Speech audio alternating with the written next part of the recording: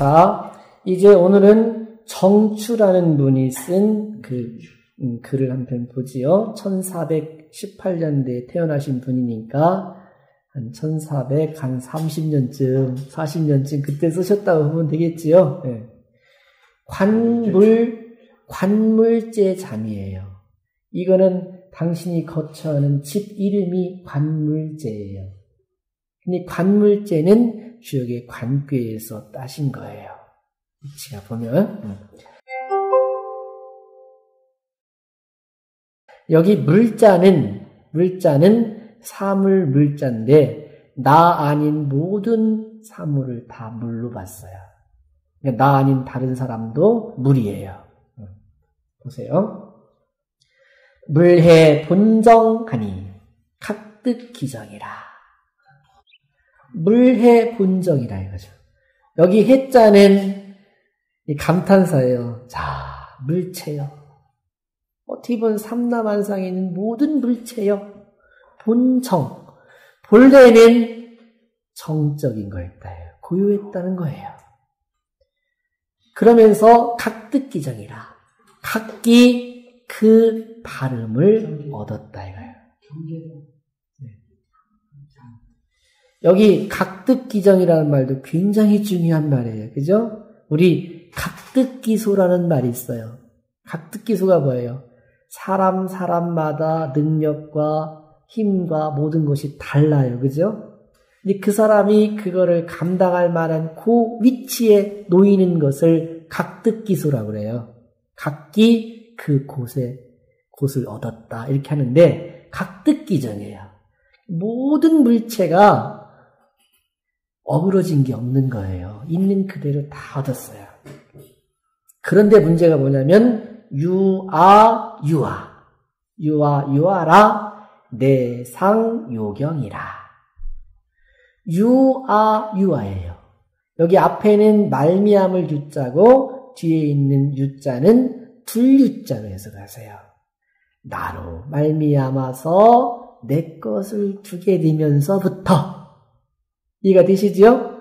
거기에 이런 물체는 가만히 있는데 거기에 내 것이라고 이렇게 거기다 마음을 쏟기 시작하면서부터 세상에 혼란함이 생긴다는 거예요.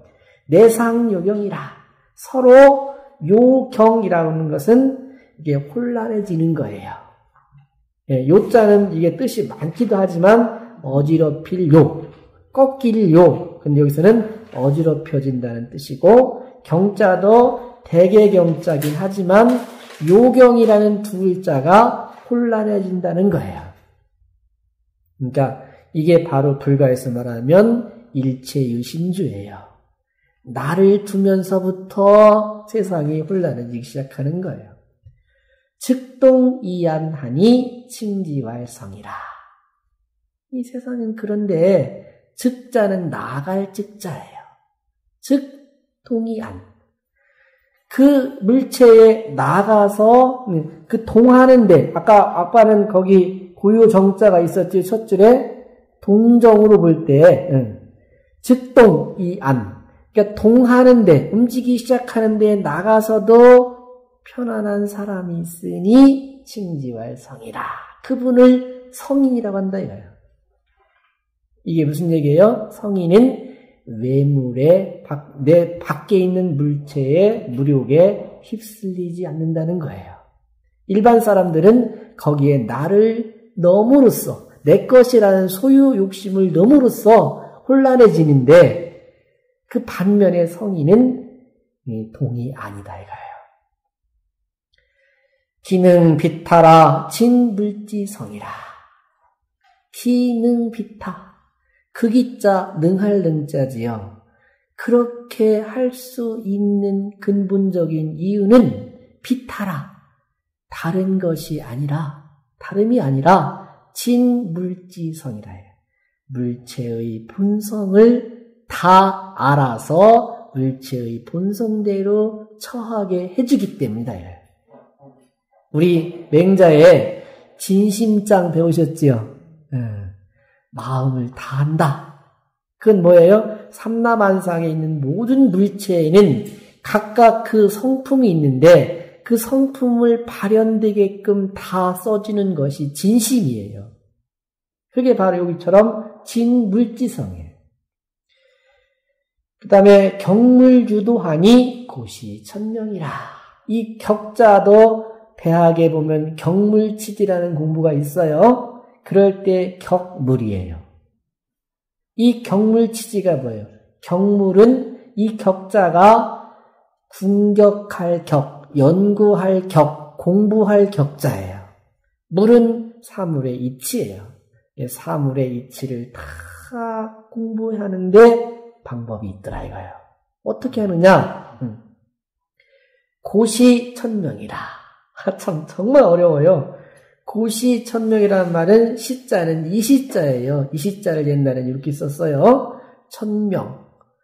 중에 보면 천명지비성이라는 말이 있어요. 하늘이 사람한테 성품을 부여해 준 거 있어요. 그걸 천명이라 그래요. 그러니까 이런 물체가 생길 때는 그냥 생긴 게 아니라 하늘이 다 그 역할을 줬다 이거예요. 그 하늘이 명해준 그것을 곧자는 돌아볼 곧자인데 눈독 들이는 거예요. 늘상 그걸 생각하고 바라보는 거예요. 고시 천명이라 해야지. 그럼 궁금한 게 또 있잖아요. 천명 유하오. 천명은 도대체 무엇이냐 이거예요. 천명이 뭐예요? 백매 홍행이로다. 매화 중에는 백매도 있고 홍매화도 있고 그렇죠? 그 다음에 여기 행자는 살부행자인데 붉은 살부예요. 이게 뭐예요? 흰 매화와 붉은 그 살구로다. 이게 뭘 상징하는 말일까요? 아까 그랬잖아요. 물건 물건마다 속성이 다르다는 거. 그게 바로 천명이다 이거예요. 그러니까 사람 사람마다 명이 다르지요. 동물, 식물 다 명이 달라요. 그죠? 식물은 하늘이 명해주기를 너는 꼼짝 말고 그 자리에서만 자라라. 이게 식물이고, 그죠? 동물은 뭐예요? 머리를 하늘로 들지 않고 머리를 이렇게 눕혀서 다니게 만드는 게 동물인 거고, 그죠? 그게 바로 이 천명이 과연 무엇이냐? 천명은 물체마다 부여해준 성품을 천명이라고 하자 이거지. 그 예로는 백매화는 어째 너는 흰 꽃이냐라고 묻지 말고 아 너는 흰, 흰 것을 타고났구나 이렇게 하라 이거예요. 그거를 우리가 지금 유전자 조작으로 해서 바꿔놓잖아요.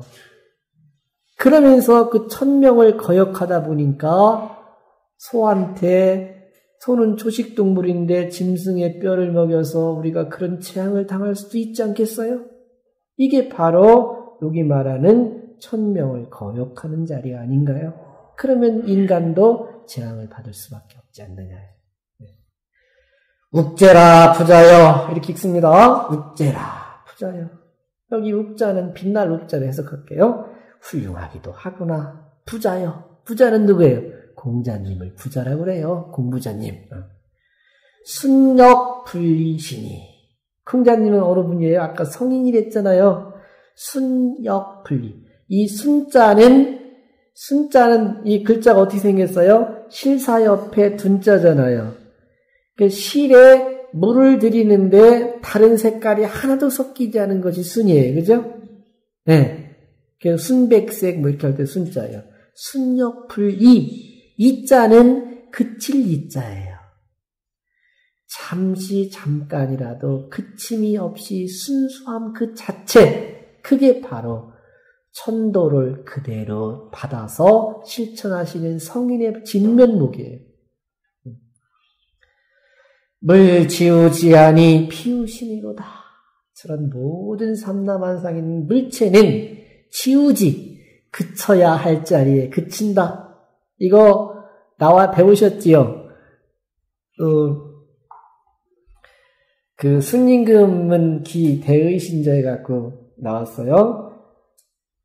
자식 입장에서는 효도의 극처에 그쳤고, 아버지 입장에서는 아버지의 도리를 다 하셨고, 신하딘 입장에서 신하의 도리를 다 했고, 다 한다는 것이 뭐예요? 지어지선이에요. 우리 대학에 나온 지어지선이에요. 지어지선이라는 것은 이렇게 음, 이걸 원으로 볼 때 여기서 여기는 선, 선의 극처고 여기는 악의 극처라고 하면 여기서 출발해서 딱 여기 선의 극처에 가서 딱 그치는 것이 지어지선이에요. 여기서 한 발짝 더 뛰면 악으로 가기 시작하는 거예요. 여기 있는 물지우지라는 것은 모든 물체에는 이치가 있고 그 이치를 하늘이 준 것이라 해서 천명이라겠다. 그 천명을 다하는 자리가 어디냐? 그쳐야 할 자리에 딱 그치는 거예요. 그게 바로 물지우지. 어려운 글이에요. 그러니 비유심으로다. 그렇지만 삼남한상에는 모든 물체의 이치는 어디 들어있다? 내 몸에 있다 이거예요. 이 공부는 멀리 있지 않다는 말이 맹자에 나와 있어요. 그죠? 어디 있어요? 내 몸속에 있어요. 내 몸 어디 있어요? 내 마음속에 있어요. 다른 사람 마음을 알고 싶은가? 그럼 내 마음을 찾아보라고 나와 있어요. 맹자에. 그죠? 진심장에 있어요. 이제 전체 해석을 다시 한번 쭉 연결을 해보지요. 너무 어려웠죠? 물해 본정하니 각득기정이라 저런 물체들이여 본래는 고요할 정자 고요했으니 각득기정이라 그 고요한 자리에서 각기 그 발음을 얻었도다. 유아 유아라 내상 요경하고 나로 말미암아서 나로 말미암아서 나를 두기 때문에 서로 혼란이 일어나게 되었고 즉동이 안을 칭지할 성이라. 그런데 본래는 정이었는데 움직이기 시작하는 움직이는 그 자리에 나가서도 마음의 동요가 없이 편안하게 지내신 분이 있으니 그분을 성인이라고 일컫는다. 기능 비타라 진물지성이니 그 그가 그렇게 된 이유는 다름이 아니라 물체의 본성을 다했을 것이니 다하는 것이니 경물 유도하니 곳이 천명이라 저 물체의 이치를 연구하고 따져보는 것에 도, 도가 있으니 방법이 있으니 곳이 천명이라 늘상 하늘이 명해 주신 천명이 무엇인지 그 물체 물체마다 부여진 그 천명이 무엇인지를 살펴보는 것이다 이거죠. 천명유하오 백매 홍행이로다. 천명이란 도대체 무엇인가? 하얀 매화에는 하얀 꽃이 피고, 그죠?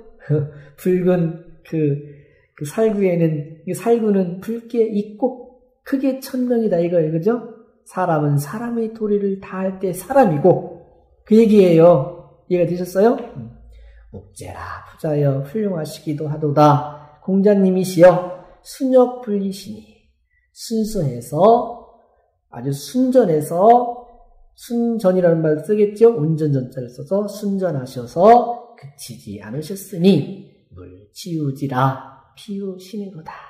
모든 물체가 그쳐야 할 자리에 그치게 하셨으니 그 출발선은 바로 어디다? 내 몸에 다 갖춰져 있도다.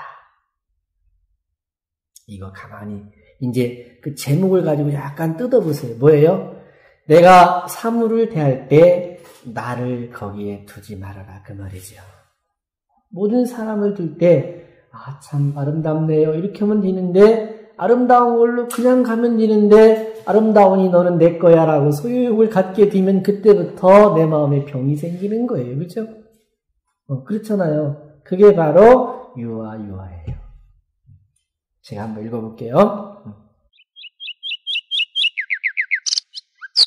물해 분정하야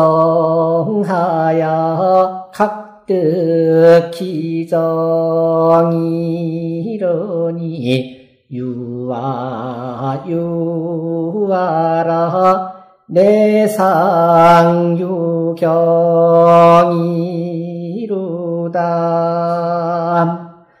즉도니안하니 징지왈성이라 기능 비타라 진물지성이시니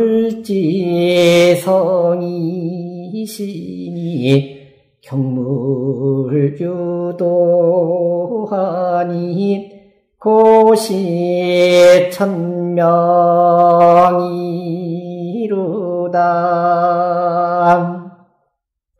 천명유 하오 백매홍행이라 국제 부자여 순력 불리시니